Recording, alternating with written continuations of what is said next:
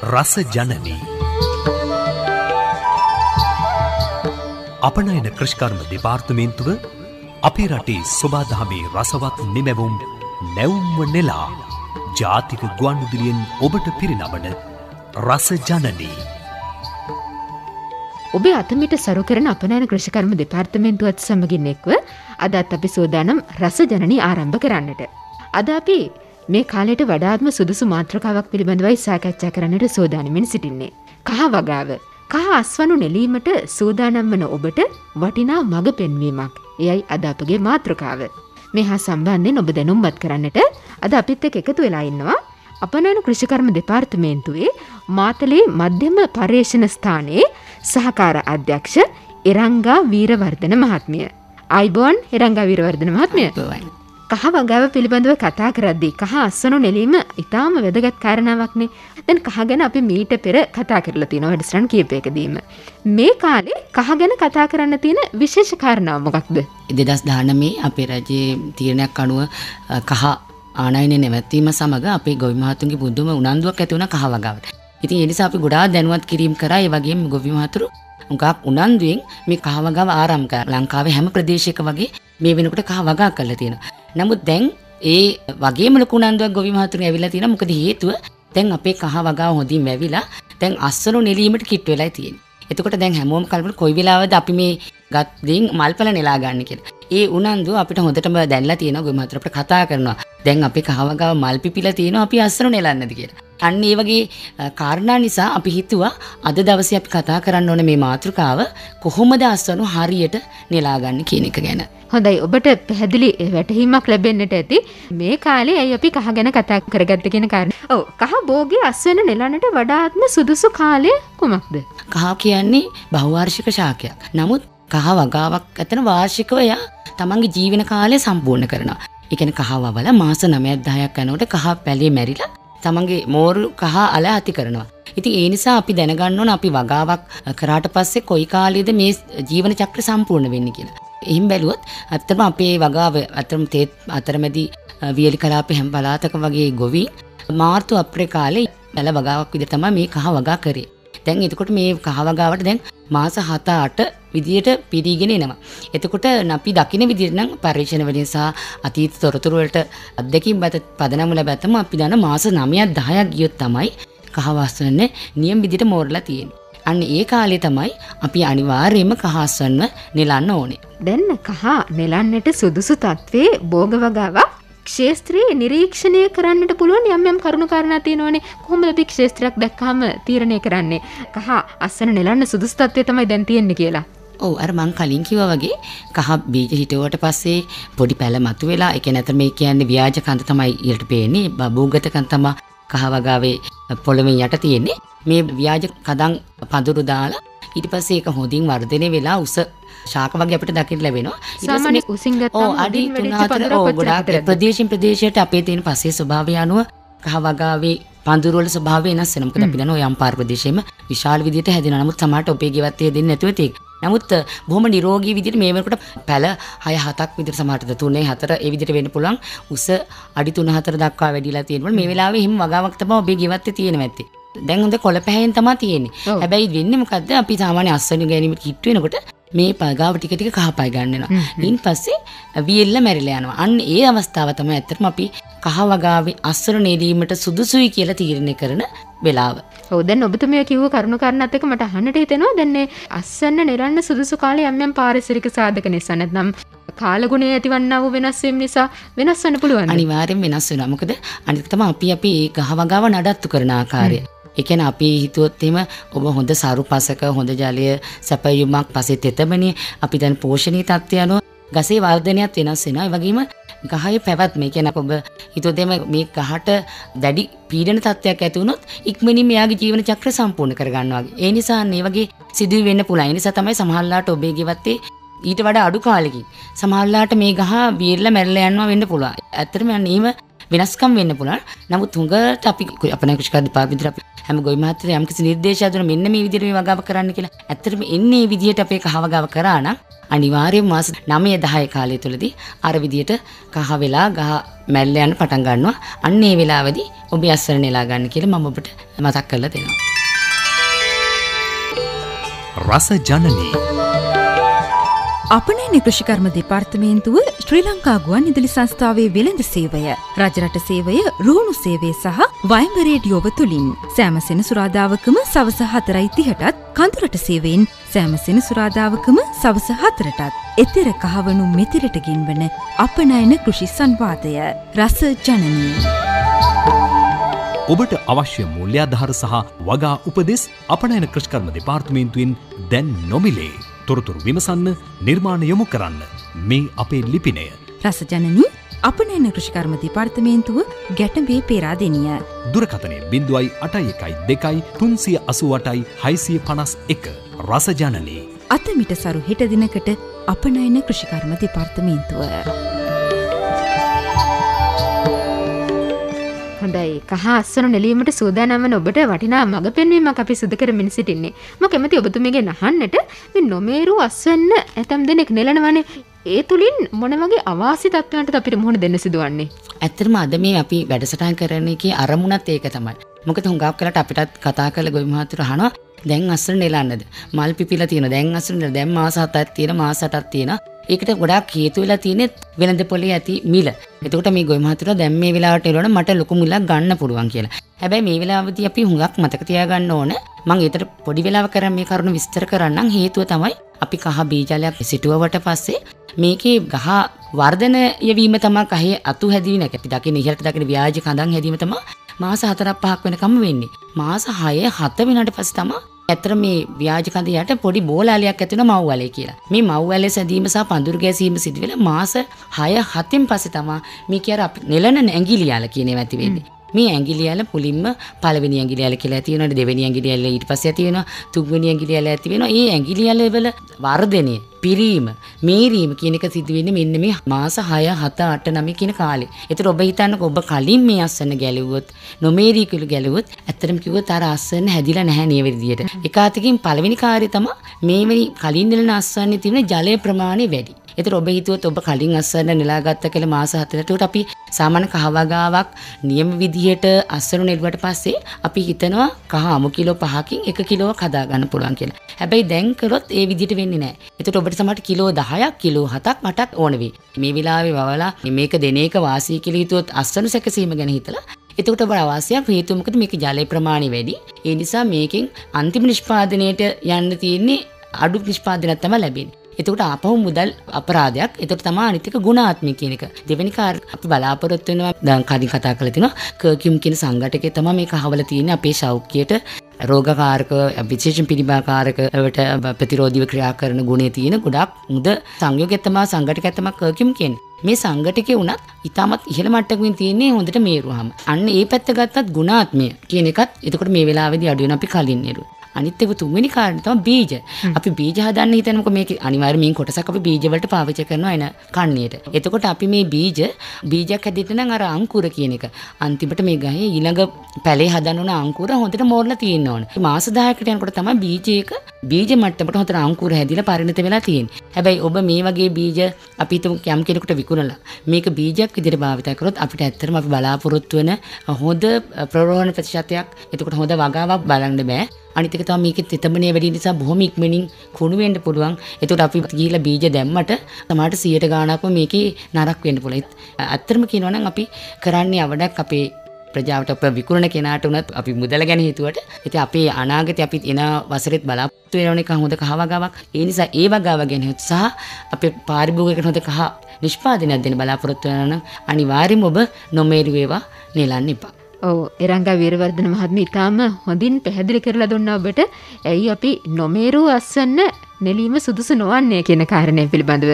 කහ අපි හොඳ අස්වන්නක් නෙලාගෙන ලබා දෙන්නේ පාරිභෝගිකයාට. ඒ නිසා එහි ගුණාත්මක භාවය පිළිබඳව ඔබ මානසික හිතන එකත් ඉතාම වැදගත් කාරණාවක්. හොඳයි අපි කැමති ඔබතුමීගෙන් දැනගන්නට ඉදිරි වගා කන්න සඳහා බීජ කහ සකස් කරද්දී මෙම අස්වනු නෙලන කාලයේ විශේෂයෙන්ම සැලකිය යුතු කරුණු තියෙනවද? ඔව් මම අර කලින් කියපු දේ නැවත වරක් කියනවනේ. ඒ කියන්නේ අනිවාර්යෙන් බීජ වගාවකට යනවනම් අපි අර මාස 9ක් 10ක් පරිණත වෙලා. කියන්නේ අපි ශේෂ්ත්‍රයේදී ඔබ දැක්කනම් අර කහ වෙලා මැරිලා ගිය ගහකින් ගත්ත බීජ තමයි ඊටමත් ඉක්මනින් සහ ඒකාකාරී වගාවක් දෙන්නේ.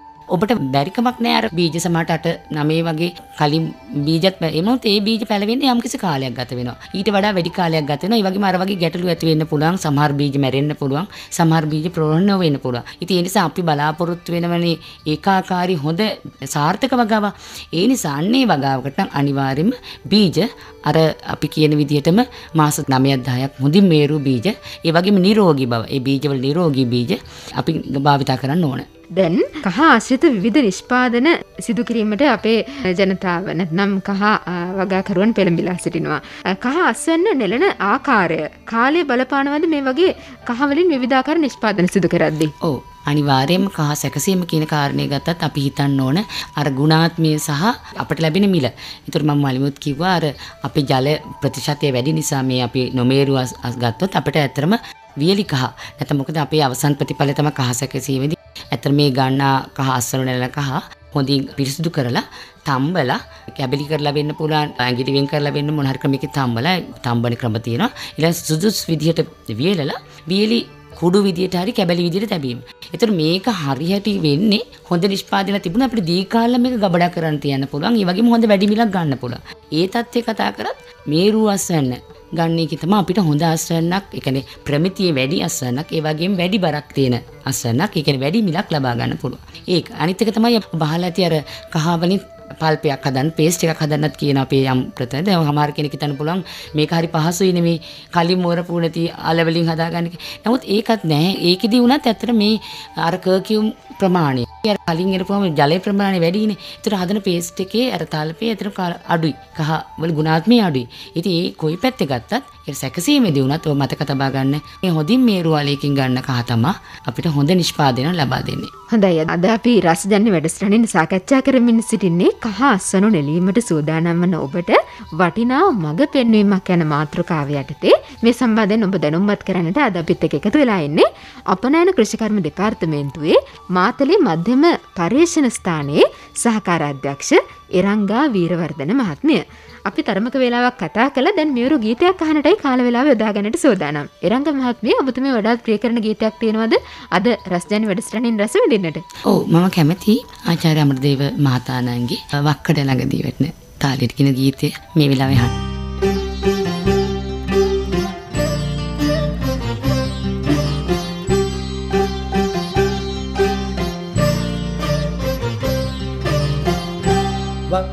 ළඟ දිය වැටෙන තාලයට තිත්ත පැටව් උඩ පැන නැටුවා. වැස්ස වහිනට ඉස්සර අහසේ වලාකුලින් විදුලිය කෙටුවා. කිව්වට වස් නැත නිල් නිල් පාටින් කටරුළු මල් වැට වට කෙරුවා. තුන් දවසක් අමනාපෙන් සිටි කලු නොකාඩු බැල්මෙන් බැලුවා. ගල මතු පිට මල පිපෙන්න. ගල මතු පිට මල පිපෙන්න. මලවට බමරිඳු නටන්න. මලවට බමරිඳු නටන්න. වැහි වැහලා ගඟ පිරෙන්න. වැහි වැහැලා ගඟ පිරෙන්න. ගඟ උතුරා හිත පිරෙන්න. ගඟ උතුරා හිත පිරෙන්න. ගල මතු පිට මල පිපෙන්න. මලවට බමරිඳු නටන්න. වැහි වැහැලා ගඟ පිරෙන්න. ගඟ උතුරා හිත පිරෙන්න ගලා හැලෙන වැහි වතුර වගේ උඹ හිනාවෙලන් කළු හිනාවෙලන්. ගලා හැලෙන වැහි වතුර වගේ උඹ හිනාවෙලන් කළු හිනාවෙලන්. වෙලා මගේ හිත හිනාවකින් තව හිනාවෙලන් කළු හිනාවෙලන්. වෙලා මගේ හිත හිනාවකින් තව හිනාවයන් කළු හිනාවයන් හිනාවයන් කලු හිනාවයන් හිනාවයන් කලු හිනාවයන් හිනාවයන් කලු හිනාවයන් හිනාවයන් කලු හිනාවයන්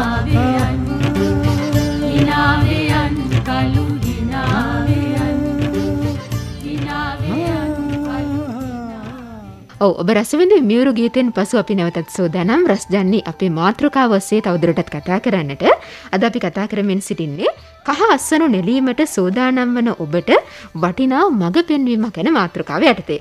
මේ හා සම්බන්ධයෙන් ඔබ දැනුම්පත් කරන්නට අපිත් එක්ක එකතු වෙලා ඉන්නේ අපනයන කෘෂිකර්ම දෙපාර්තමේන්තුවේ මාතලේ මධ්‍යම පර්යේෂණ ස්ථානයේ සහකාර අධ්‍යක්ෂ එරංගා වීරවර්ධන මහත්මිය. එරඟ මහත්මයා දැන් අපි කහ අස්වන්න හොඳින් වැවිලා අස්සන නෙලාගන්න ඉතාම සුදුසු තත්ත්වය තියෙනවා කියලා නිරීක්ෂණය වෙනකොට අ, අස්සන්න නෙලන්න තමයි සූදානම් වන්නේ මේ අස්සන නෙලීමත් බොහොම සූක්ෂමව කල්පනාකාරීව සිදු කළ යුතු කාරණයක් කොහොමද හරි විදිහට අස්සන නෙලාගන්නේ ඕ අනිවාර්යෙන් මොකද අපි දන්නවා දැන් හොඳට කහ පහයට හැරලා මේ මියගිය ශේෂ්ඨයක් අපිට තියෙනවා නම් කහ හොඳට මෝරලා තියෙන කියලා. ඒතර මේකේ ගුණාත්මයත් අ, හොඳින් තියෙනවා කියලා අපි දන්නවා. නමුත් ඊළඟට අපේ අරමුණ තමයි මේ ගුණාත්මයත් ආරක්ෂා වෙන විදිහට ඒ වගේම පිරිසුදුව මේ අස්සන්න ඉදිරියේදී ගබඩා කිරීමට හා සැකසීමට භාවිතා කරන්න පුළුවන් විදිහට හොඳින් නෙදා ගන්න එක. ඒ නිසා ඒකට අපි ඔබේ ශේෂ්ත්‍රයට ගිහලා මුලින්ම කරන්න ඕන. අතරම අර කහ මියගේ පඳුරු අයින් කරලා හොඳට බලන්න ඕන කහ පාදස්ත කොටස වි- නිරීක්ෂණ විදි විදිහට කහ ප්‍රේෂ්ඨය හදලා ඇත්තම කියනවනේ මේ කහ අ, පැතිරීම බොහොම සීමාකාරීව සිද්ධ වෙන්නේ කහාලේ මේ පඳුර වටේ. ඒකට අපිට සංක- අවබෝධයක් ගන්න පුළුවන් කොයි වගේ තැනකටද මේ කහ අම්, අලය විසිරලා තියෙන්නේ කියලා. ඊට පස්සේ අපි උදැල්ලක් නෙවෙයි ඇත්තම කියන උදළු මුල්ලක් වගේ එක උපකරණ. ඒ කියන්නේ අපිට හදිසියවත් මේක පොළවට ඇතුළු කිරීම නිසා අර කහ අලවලට හානිය අවම කරගෙන උදළු මුල්ලක් භාවිතයෙන් මේ කහලස්සන බුරුල් කරලා එතන අපිට පුළුවන් නම් හොඳයි මේ කහාලේ පඳුරක් විදිහටම ගලව ගන්න. එහෙම ගලව ගත්තාම අපිට පුළුවන් හොඳින් පරිස්සමට අර මව්වල සහ ඇඟිලියල වෙන් කරන්න, ඒ වගේ මුල් කපලා අයින් කරන්න. එතකොට අඩුම හානියක් තමයි මේ අලවලට සිදු වෙන්නේ. විශේෂයෙන්ම ඇඟිලි අලවලට. එතකොට ඒ ඒක පළවෙනි කාරණේ. ඒ වගේම කියන්න පොඩක් අතපසු වුණා ඒ පළවෙනිම මේ වියලි ප්‍රදේශවල. හුඟක් වියලි ප්‍රදේශවලදී මේ පොළවේ තියෙන තද ගතිය නිසා අපිට සමහරට කහස්සන ගන්න අමාරු වෙන්න පුළුවන්. ඒ වෙලාවේදී අ, පුළුවන් අපිට පලින් දවසේ මේ පොළොව පොඩක් තෙත් කරන්න ජලය යොදලා වුණා ඔබට පහසු වෙනවා මේ අස්සන නෙලා ගන්න. මොකද මොකද මේකට ටිකක් ශ්‍රමය වැය වෙනවා නැත්නම් ඊළඟ තමයි මේ මේ අතරමැදි කලාපෙන මේ ගැටලුව වෙන එක නෑ බුරුල් පසක් තියෙනවා අපිට මේ අස්වැන්න නෙලා ගන්න පුළුවන්. එහෙම නෙලාගත් අස්වැන්න ඊට පස්සේ අපි මොන අස්වැන්න මොන විදිහට ගත්තද කියන්නේ සැකසීමට භාවිත කරත් බීජවට භාවිත කරත් අපි අර මේ කහාලේ තියෙන අල දෙවර්ගය වෙන් කර ගන්න. එකක් තමයි මව් අලේ. ඒ කියන්නේ බෝල අල. ඊළඟට ඇඟිලි ආකාරයෙන් තියෙන ඇඟිලි අල මේ ටික වෙන් කර ගන්න වෙනවා. මේ මව්වල තවල තමා මුල් තියෙන්නේ. ඒතර මූල් ඉවත් කරලා මව්වල ටික මුලින් වෙන් කර ගන්න පුළුවන්. ඊට පස්සේ ඇඟිලි කොටස් අරගෙන ඇඟිලි අලත් ඇතම ඉතා ඉතා කුඩා කොට කොටස්වට කඩන්න නැතුව අර පළවෙනි ඇඟිලි අලයත් එක්ක දෙවෙනි ඇඟිලි අල ඇතුල් වෙන විදිහට කොටස්වට කඩා ගන්න පුළුවන්. ඇතරම අපි බීජ සඳහා යනවා නම් තමයි විශේෂයෙන්ම ඔහොම සැලකිලිමත් වෙන්න ඕන. මේ විදිහට ඇඟිලි අල වෙන් කරගන්න. ඉන්පස්සේ අපි සැකසීමට යනවා නම් ඇතර මේක මීට වඩා පිරිසිදු කරන්න ඕන. ජලය යොදලා හොදට හොදලා ඉන්පස්සේ ඉදිරි කටයුතු වලට යොමු වෙන්න ඕන. හොඳයි ඔය විදිහට අපි කහස්සන්න බොහොම සුපරීක්ෂාකාරීව නෙලාගත්තට පස්සේ නිවැරදිව ගබඩා කිරීමත් ඉතාම වැදගත්. අපි කාලාන්තරයක් තිස්සේ බොහොම පරිස්සමට වගා කරපු එත් එක්ක මස්සන නෙලාගත්ත මේ කහ හොඳින් ගබඩා නොකළොත් ඒ ආරක්ෂාකාරීව ගබඩා නොකළොත් ඊට පසු අස්වනු හානියක් සිදුවන්නට පුළුවන්. කොහොමද අපි නිවැරදිව කහ ගබඩා කිරීම සිදු කරන්නේ? ඔබ කිව්වා වගේ දැන් අපි හොඳ ගුණාත්මීයතු මොරු අස්වැන්නක් නේ නෙලාගත්තේ. ඉන් පස්සේ මේ අස්වැන්න ඇත්තටම අපි බලාපොරොත්තු වෙන සැකසීමට නම් බීජාල වලට නොවේ නම් ඊටමත් හොඳම දේ තමයි මේ අල අපි දෙපාර්තමේන්තුවේ නිර්දේශ කරපු ක්‍රමවේදයක් තියෙනවා කොහොමද ගුණාත්මීය හානි නොවන විදිහට මේ අල තම්බාගෙන වියලා ගන්න කියලා. එතකොට ඒ හොඳින් පිරිසිදු කරගත් අල උමාලේ හෝ ක්‍රමවේදයට අනුව තමයි ඊට පස්සේ අපිට වියලාගෙන ඒකත් ඉතා පරීක්ෂාකාරීව වියදාගෙන ඒ කියන්නේ ගුණාත්මට හානි නොවන විදිහට අපිට ඇඟිලියාල විදියට හරි එහෙම නැත්නම් කැබලි විදියට හරි කුඩු විදියට හරි ගබඩා කරගන්න ඕන. ඒක තමයි හොඳම ක්‍රමය අපි සැකසීම් පැත්තට යනවනේ. මොකද නැතුව අපි ගබඩා කරලා තියාගන්න අවශ්‍ය නැහැ. අපිට වියලි කුඩු හෝ කැබලි විදියට දීර්ඝ කාලයක් මේක ගබඩා කරගන්න පුළුවන්. ඊටාම් පහසුයි. හැබැයි බීජාල ඒ විදියට බෑ. බීජාල වල විදියට අපි ගබඩා කරන්න හිතාගෙන ඉන්නවනේ එක ක්‍රමවේදයක් තියෙනවා. ඔබට පුළුවන් යම් කොටසක බීජ වෙන් කරලා තියාගන්න ගලවන්න නැතුව ශේෂ්ත්‍රයේම ඒවා බීජාල විදියට භාවිතා කරන්න. නමුත් අපිට මේ බීජ ගැන අවබෝධයක් නැහැ නේ මේවා කොහොමද කියලා. ඉතින් එහෙම නැත්නම් හොඳ වැඩේ මේ අසුරු නෙලා ගත්තට පස්සේ ඒ යම් කොටසක් බීජ හොඳම කොටස ඇතරම් බීජ විදිහට ගබඩා කරන එක. ගබඩා කරද්දී ඇතරම් පස් ඉවත් කරලා මුල් කොටස් ඉවත් කරලා ඒ වගේම මෑරුණු කොටස් කුණු වෙච්ච කොටස් තියෙන ඒවා ඉවත් කරලා හොඳම කොටස විතරක් අරගෙන ඉතා පිරිසිදුව ස්ථානික ගබඩා කරන්න ඕන. ගබඩා කරන ස්ථානය ගත්තොත් බොහොම වීයලි සිසිල් ස්ථාන ඇතම තෙතබෙන නොරැදෙන හුඟක් තෙතබෙන රැදුනොත් ඔබ දන්නවා මේ ගොඩක් වලට පුස් වගේ දේවල් බැඳෙන්න පුළුවන්. ඒ වගේම පිරිසිදු වෙන්න ඕන නැත්නම් කෘමි අපි කියන ගබඩාවේදී ඇති වෙන කෘමි හානිය ඇති වෙන්න පුළුවන්. එතකොට ඊටාම් පියුස් ස්ථානේ ගබඩා කරන්න. එතකොට අර මම කිව්වාගේ බීජ වලට ගබඩා කරද්දී ආලේ තියෙන තෙතමනේ සහ අංකුර වියලීමේ වළක්වා ගන්න ඕන. ඒ සඳහා අපි කියන්නේ පිරිසුදු බියලි 10ය අඟල් දෙක තුනක තට්ටුවක් දාලා ඒ මත අර හොඳින් සකසාගත්ත අල කැබලි තට්ටුවක් දාලා ඊට පස්සේ නැවත වරක් එකිනෙක නොගැටෙන්නේ නැතර මේකේ තේරුම අල්ල එකිනෙක නොගැටෙන විදිහ තවත් 10 තට්ටුවක් දාලා මේ විදිහට අපිට බීජ සලහා හොඳ පරිසරයක තිබුණත් ඇත්තට කිසිම ගැටලුවක් නැතුව මාස දෙක තුනක් මේක තියාගන්න පුළුවන්. එහෙම නොවුනොත් කාලයක් ගත වුණාම ඒක පැලවෙන්න බලනවා. තෙතමන එක තුනත් පැලවෙන්න බලනවා. ඒ වගේම කෘමි හානි සිදු වෙන්න පුළුවන්. එතකොට අපි අර හදාගත්ත ගුණාත්මක අස්සන්නේ තේරුමක් නැති වෙනවා. රස ජනනී අපනයන කෘෂිකර්ම දෙපාර්තමේන්තුව ශ්‍රී ලංකා ගුවන් ඉදිලි සංස්ථාවේ වෙළඳ සේවය රජරට සේවය රුහුණු සේවේ සහ වයිම්බරේඩියෝව තුළින් සෑමසෙන සුරාදාවකම සවස හතරයි තිහටත් කඳුරට සේවෙන් සෑමසෙන සුරාදාවකම සවස හතරටත් එතෙර කහවනු මෙතිරට ගෙන්වන අපනයන කෘෂි සංවාදය රස ජනනී. ඔබට අවශ්‍ය මුල්‍යාධාර සහ වගා උපදෙස් අපනයන කෘෂ්කර්ම දෙපාර්තමේන්තුවෙන් දැන් නොමිලේ. තොරතුරු විමසන්න නිර්මාණ යොමු කරන්න මේ අපේ ලිපිනය රසජනනී අපනයන කෘෂිකර්ම දෙපාර්තමේන්තුව ගැටබේ පේරාදෙනිය. දුරකතනය බිඳුවයි අටයි එකයි දෙකයි තුන්සිය අසුවටයි හයිසිය පනස් එක රසජනනී. අතමිට සරු හෙට දිනකට අපනයන කෘෂිකර්ම දෙපාර්තමේන්තුව. රංග මහත්මිය දැන්න ඉතාම හොඳ තත්ත්වේ කහ වගාවකින් අපිට කොපමණ ප්‍රමාණයක අස්සන්නක් ලබාගන්න පුළුවන්ද කියලා අපේ ගොවි මහතුරු බොහොම සැලකිලිමත්. ඇත්ත වශයෙන්ම කිරුණා අපිට කොච්චර අස්සන්නක් බලාපොරොත්තු වෙන්න පුළුවන්ද? හොඳම දේ තමයි ඔබ ගිහිල්ලා ඔබේ ශේෂ්ත්‍රයේ කහ පඳුර දිහා බැලුවොත් ඇත්තටම ඔබේ වගාව අස්සනගෙන හිතන්න පුළුවන්. මොකද කහක පඳුරක පඳුර හතර පහකට වඩා කියන හුඟක් පඳුරු ගහලා තියෙනවනේ. ඊට පස්සේ උසට වැවිලා හොඳ සාර්ථක කොළ වගාවක් දකින්න ලැබෙනවා නම් එතරම් හොඳ අස්සන්න බලාපොරොත්තු වෙන්න පුළුවන්. මේක ඇතරම අපි ශේෂත්‍රයේ බැලුවොත් වෙනස් වෙන ඔබ වගාවට දැක්වූ සැලකිල්ල අනුව. ඒක තමයි ප්‍රධාන දේ. නැත්නම් ඇතරකොත් ග්‍රෑම් 35ක විතර අල කැබැල්ලක් වවවුවම අපිට ග්‍රෑම් 600 සිට කිලෝ දෙක දක්වා වෙනස් වූ අසනක් ලැබෙනවා. ඒ හේතුව තමයි අර අලේ වර්ධනයට සහ අලේ තියෙන ගුණාත්මක භාවය කියන්නේ බීජ අලය සහ ලපි ලබා දුන සාධක මත. සාමාන්‍යයෙන් අපි කියනවා අවම වශයෙන් අපිට එකට 15ක වගේ අස්සනක් ගන්න පුළුවන් කියන කිලෝ එකක් වගුවොත් ඒ විදිහ අස්සන. නමුත් ඒක ඇතර සමහර ගොවි මහතුරු මීට වඩා ඉතාම උපරිම අස්සනක් ලබලා තියෙනවා. මම අර කිව්වා වගේ අපි ලබා දෙන සාධකයන් සහ විශේෂයෙන් සමහර ප්‍රදේශ ඒ ප්‍රදේශවල ඔබ දන්නා මේ අම්පාර වගේ ප්‍රදේශවල ඒ ප්‍රදේශයටම ආවෙනිකව ඒ වගා බිම පස පාරිසරික තත්ත්ව මත ඊටාම ඉහළ අස්සන ලබා දෙනවා. ඉතින් ඒ නිසා ඒක බොන වෙලාවට රඳා පවතිනවා කියලා මම හිතන්නේ ඔබ ලබා දෙන සාධක පාරිසරික තත්ත්ව මත. නමුත් මම හිතනවා මේ සැරේ ඊටාම හොඳ අස්සනක් මේ වගාවෙන් ලැබෙයි කියලා. ඔව් දැන් මේ විදිහට ඊටාම සාර්ථක අස්වැන්නක් බලාපොරොත්තු වෙන අපේ ගොවි මහතුරුන්ට කහ වගාකරුවන්ට අවසාන වශයෙන් ඔබතුමීට මොකද දෙන්න තියෙන පණිවිඩය? දැන් ඔබ අපි මේ වැඩසටහන බලාපොරොත්තු වෙන ගුණාත්මක අස්වැන්න. ඒ ගුණාත්මක අස්වැන්න දීම පදනම තමයි මොකද අපි රට මේ වෙනකොට කහවගාවෙන් ස්වයං පෝෂිත කිරීමේ රජයේ ඉලක්කයේ කරා තමයි අපි මේ යමින් සිටින්නේ. ඒතර මේ 2019 පටන් ගත්ත වැඩේ මේ දෙවෙනි වසර අපි මේ. ඒතර මේ වෙලාව අපිට සතුටු වෙන්න පුළුවන් දෙපාර්තමේන්තුවක් විදිහටත් අපිට වැඩි හෙක්ටයාර ප්‍රමාණයක් කහ වගා කරන්න පුළුවන් වෙලා තියෙනවා. හෙක්ටයාර 2800ක් පමණ. ඊයින් බලාපොරොත්තු වෙන අස්වැන්නක් ඇතර අපි ස්වයං පෝෂිත වීමට බලාපොරොත්තු වෙන 180ක් පමණ මේ වසරේ ලැබෙයි කියලා. ඉතින් එතකොට මේ අපි මේ වැඩසටහනට අපේ ගොවි මහතුරු ඉතාමත් කැපවීමෙන් දායක වෙලා තියෙනවා. එතකොට මේ අපි හදලා තියෙන අපේ වගාවේ මේ තියෙන්නේ අපේම රටේ කහ, දේශීය කහ.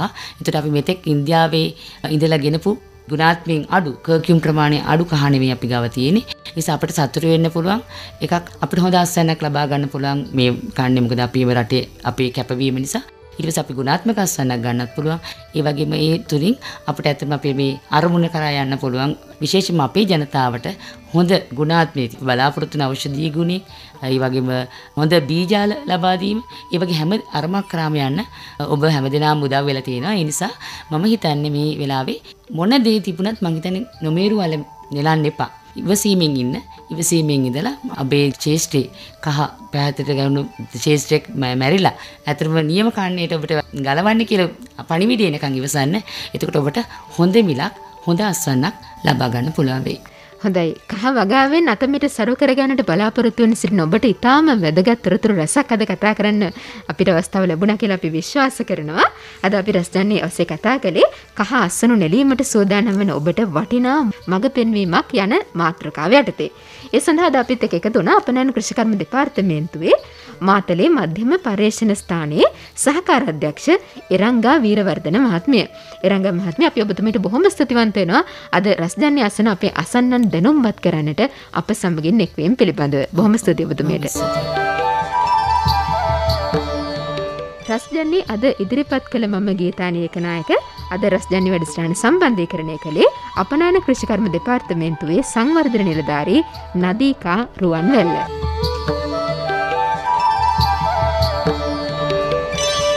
සතිපතා ඔබේ නිවසට රසබර රසජනනයේ රැගෙන එන්නට උපදේශකත්වය අපනයන කෘෂ්කර්ම දෙපාර්තමේන්තුවේ අධ්‍යක්ෂ සංවර්ධන ජනක ලින්දර මහතාගෙන්.